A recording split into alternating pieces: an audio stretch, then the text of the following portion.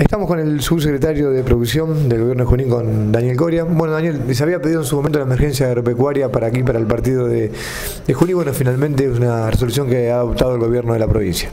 Sí, el, se daba la resolución, la última que tomó para, para varios partidos de la provincia. Eh, bueno, decreta la, concedió digamos, la emergencia en cuatro cuarteles del, del distrito, sería el 5, el 11, el 12 y el 13 eso en forma automática, digamos, los productores que estén eh, en, ese en esos cuarteles y estén en situación de emergencia, digamos, eh, la elevación es en forma automática.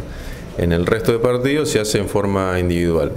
Eh, es importante que esto es hasta el 31 de marzo, es la fecha límite, digamos, para la presentación de las declaraciones juradas.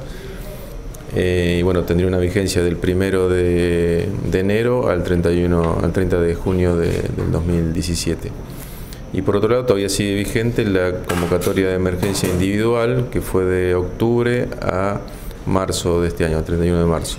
Que eso ya se recibieron 40 declaraciones juradas de aproximadamente 11.800 hectáreas que están también, bueno, tiene hasta el 31 para para esa convocatoria.